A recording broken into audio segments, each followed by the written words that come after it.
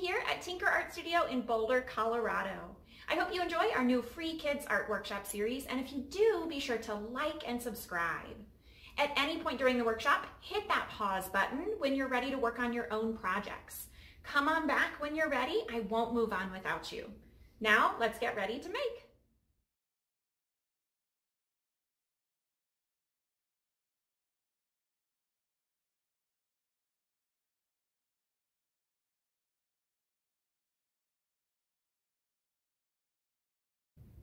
Hi, I'm Christie here at Tinker Art Studio and we are bringing you a workshop today making these really cool wire tree sculptures. I am so excited to show you how you can make your very own wire tree sculpture today with a few materials that hopefully you have collected or you'll collect soon.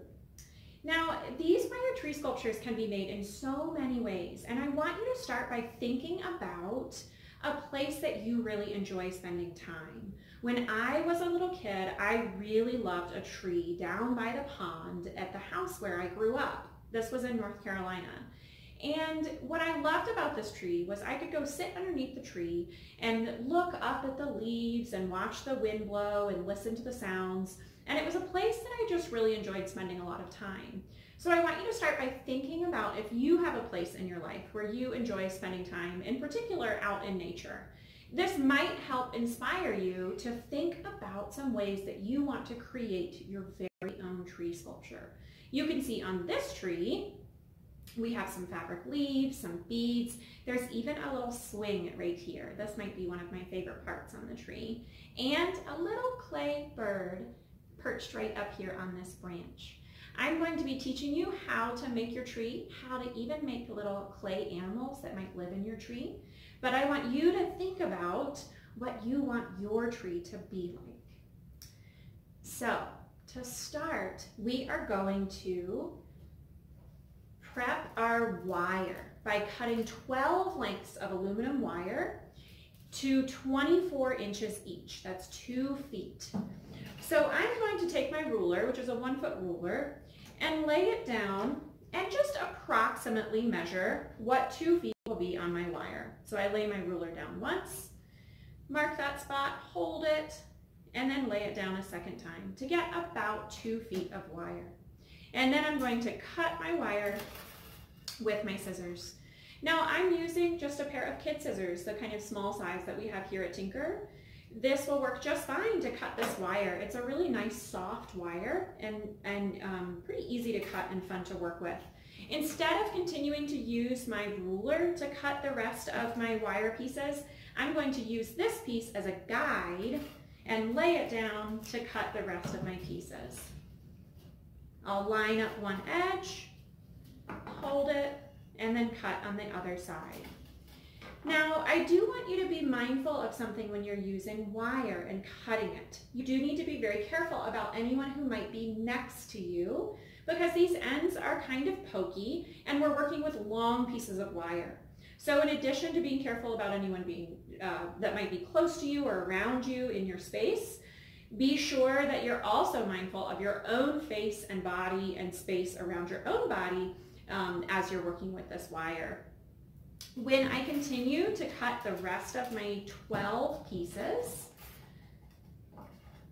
I'm going to use a wire that I've already cut as a loose guide, but I'm not too worried about it being exactly the same size. Just, just close will be just fine. All right, let's cut the rest of these pieces.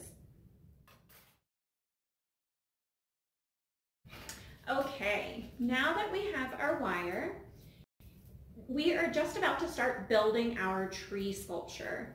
Now, if you have not already found a rock to use as the base of your sculpture, now would be a great time to take a little break and go outside and go on a little rock hunt. Really, any rock will do. If you have cut your pieces of wire to this size, to the 24 inches, you will want a rock that's about this size and weight that you see me holding. It fits comfortably in my two hands. We want it to be big enough that it will hold and support the weight of this size of a tree.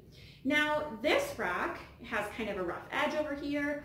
I really sort of like that texture. This rock is much smoother. you can find a rock that you think will work just right for your tree sculpture.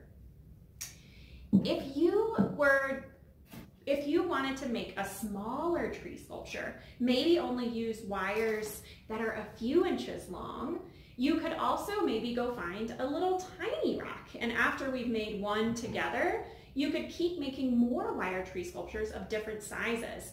I think it would be fun to have a whole forest of these wire tree sculptures of all kinds of different sizes. Maybe a little tiny ones, medium ones, big ones, maybe even a giant one that lives on a rock outside in your yard. I think that would be pretty neat.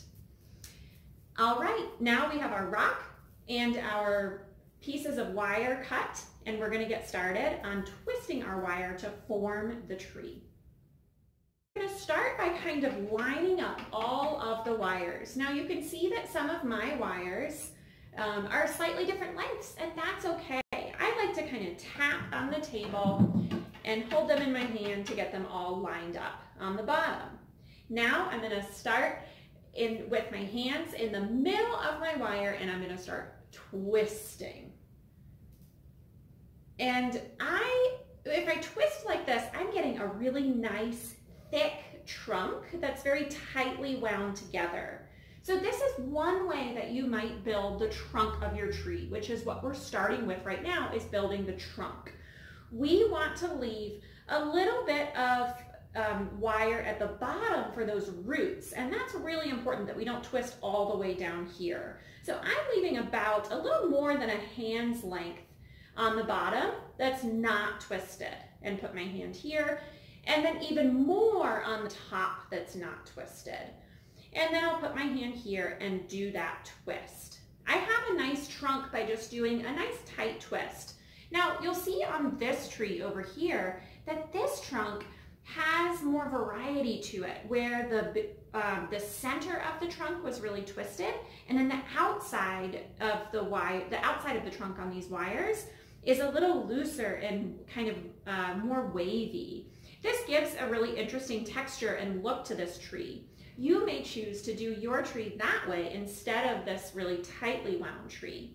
If you'd like to do that, you could either start that way by keeping a couple of your wires separate, or you could kind of loosen this section that you tightened as you twisted and then twist it again at the bottom to keep it tight at the bottom and looser in the middle and then tight again at the top to sort of close off the trunk on the top and on the bottom. You can then take the trunk wires and shape them even more in all kinds of different ways. And we'll have a chance a little later on to put some sort of finishing touches on this part of the trunk as well. Now that we've built our trunk, we're going to move on to building the roots of the tree, wrapping it around the rock as a base. This is going to give us a really stable bottom to our sculpture where we can then work on our branches and building out our tree once it's really secure on this big nice rock.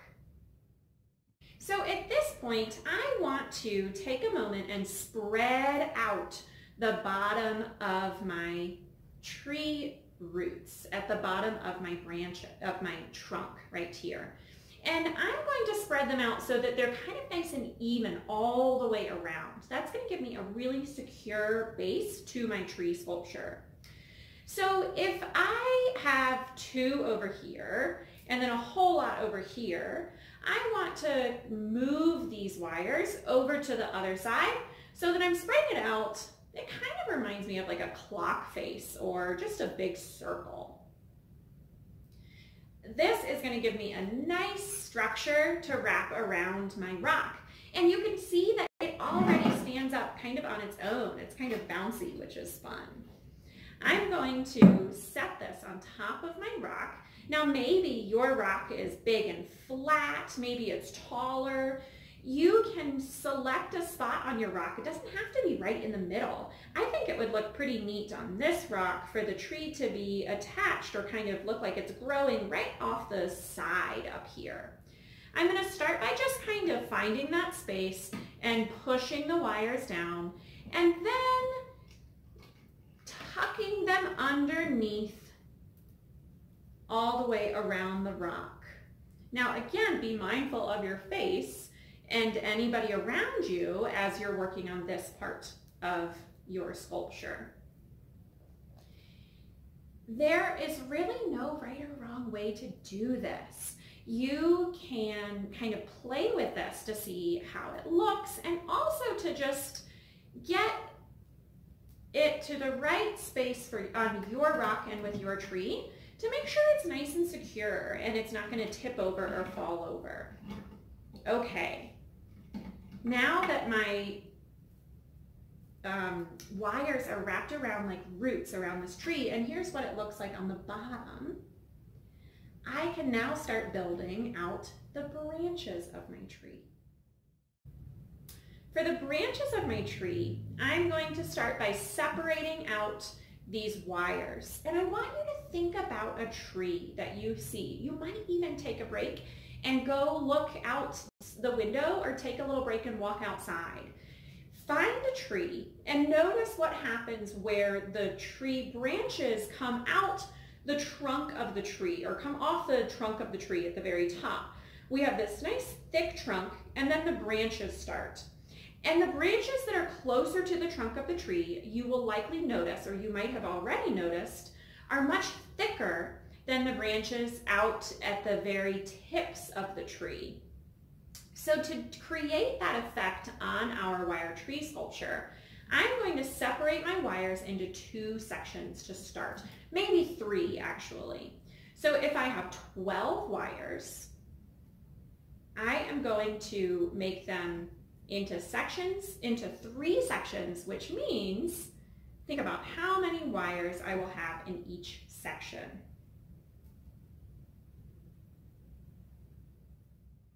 One, two, three, four wires in each section. Now, if you wanted to divide up your sections of the branches of your trees in a different way, absolutely go for it. You might like to keep them all separate. You might like to do two big ones or maybe five big ones with different numbers of wires in each one.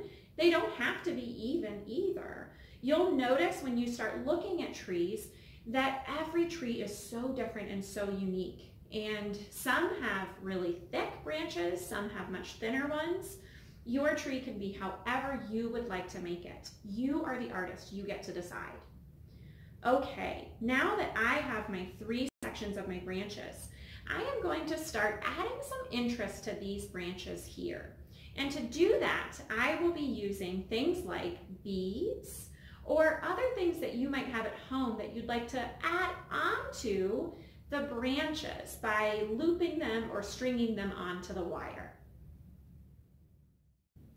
The beads that I have here are these plastic pony beads. And they work well because there's a wide hole in the middle, so it makes it really easy to string them onto the wire. I like to put a couple of beads in different spaces on my tree, and then I'm gonna spend a little more time twisting these branches. This is the really fun part of this project, where you can twist two branches together, leave them all separate, make interesting designs or loops. It is totally up to you. Have fun twisting your branches and continuing to build your tree. I'm gonna give you just a couple of quick tips. You might like to, as you keep bending and twisting, you might like to curl the ends of your wires into little spirals. You might like to twist two of them out of my, so I have four twisted to start at the base of this branch and I'm separating them into two and two now to get them even a little smaller. And then I'm gonna move on to just one branch. As I'm doing that, I'm adding beads or other embellishments that you might have at home. Here's like a big wooden bead that I might string on there. You might like to add some loops and curls you might like to make some wavy branches with your wire. However you want to now twist and build out your tree is totally up to you.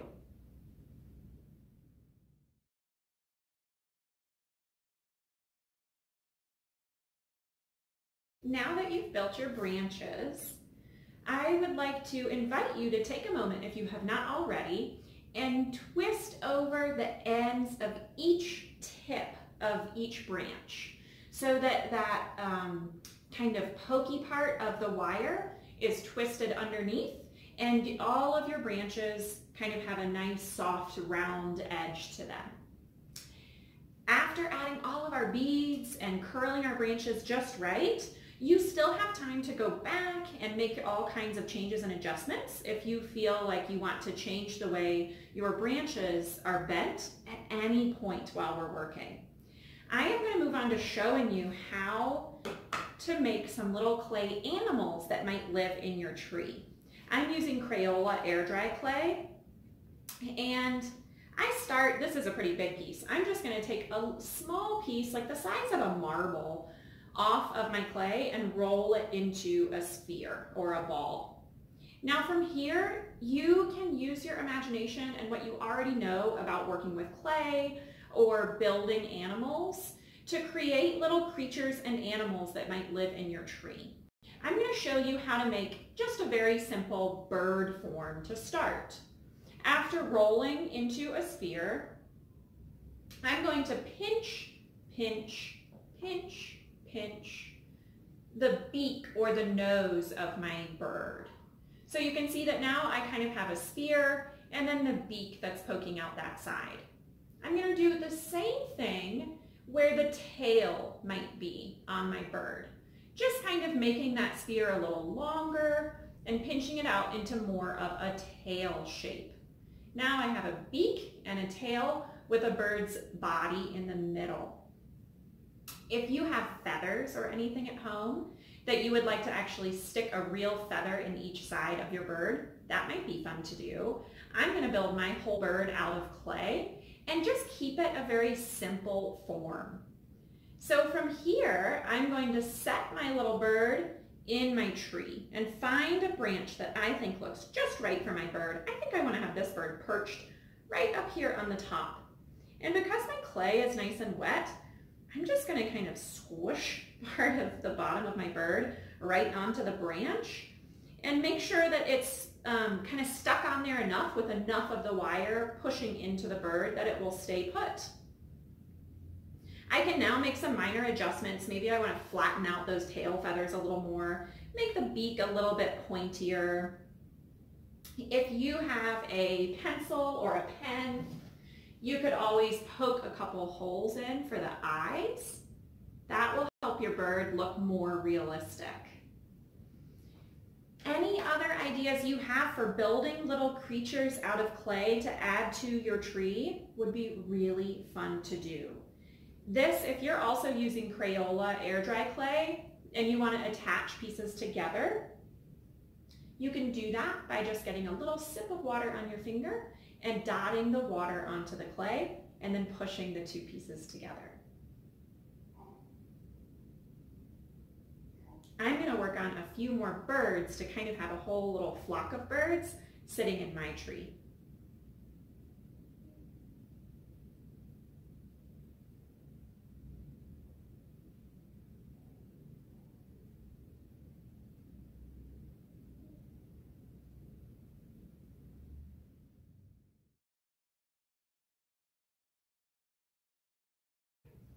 Now, if you have a little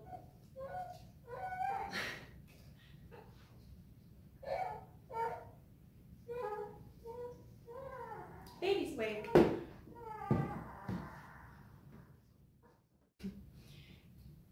My three-month-old wanted to make an appearance in the video, so we are going to do this together.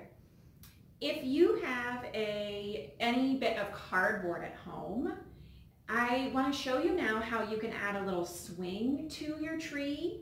Um, and I want to encourage you to think about any other ideas you have.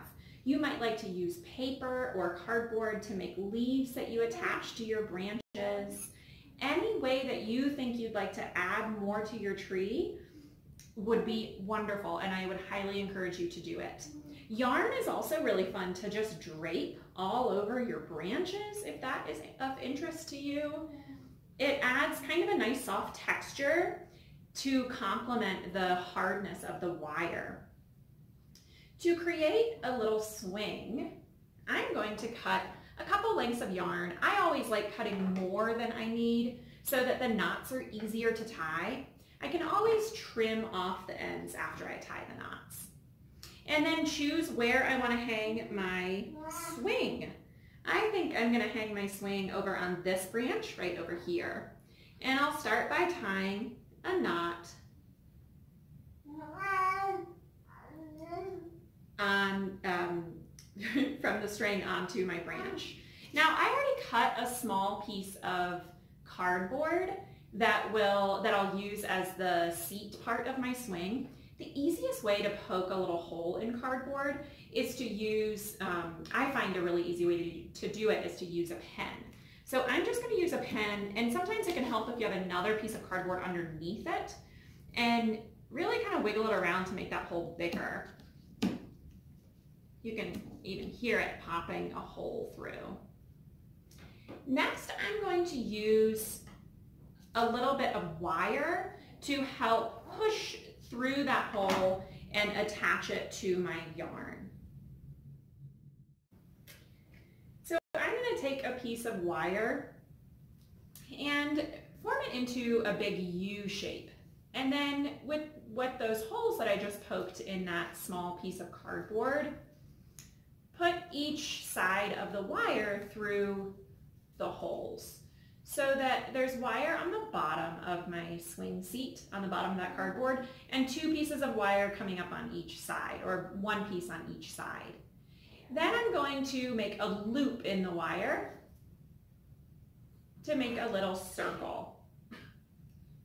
So with this circle, one on each side, I can then tie my yarn from my tree right onto that circle.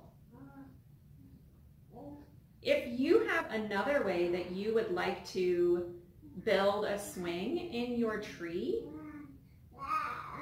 you, you could certainly do it that way. Another idea would be to just use wire um, instead of yarn. I just happen to like the look of the yarn and the color of it. To tie these knots, I'm tying what's called a square knot, which is the first step to tying your shoe twice. I'm glad that I gave myself kind of lots, lots of extra room to work with with my yarn because that will help me have enough to kind of balance my swing to see, um, to see that it's even on both sides and to easily tie these knots. I can always trim off the excess string or yarn. Now, when I trim off that excess yarn, just be sure that you don't cut too close to the knot so that the knot doesn't fall out.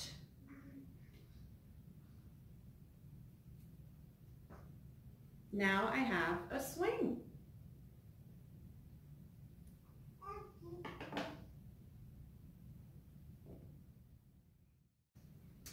Okay, artists, the very last thing I want you to consider before we conclude this workshop today is any final changes, adjustments, details, embellishments that you would like to add to your tree. If you'd like to, maybe you want to consider bending the your branches in a slightly different way so that one swoops down more. Take a look, step back from it, turn it around in different directions, and see if there's any final adjustments you'd like to make. One of the really fun things about this particular workshop is that you can always make adjustments later too. If after your clay dries, another thing you might like to do is paint your birds or creatures that you have in your tree. You might also like to paint your um, swing seat or anything else that you've added. I hope that you enjoyed making your wire trees today.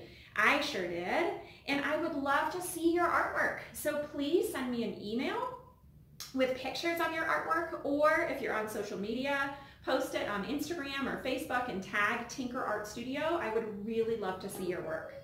Thank you so much for joining us today. If you are enjoying these workshops and you would like to support Tinker during our closure, as well as the Future Arts Foundation, you can find a link to donate in the bottom of, or in the video description. We'll see you next time.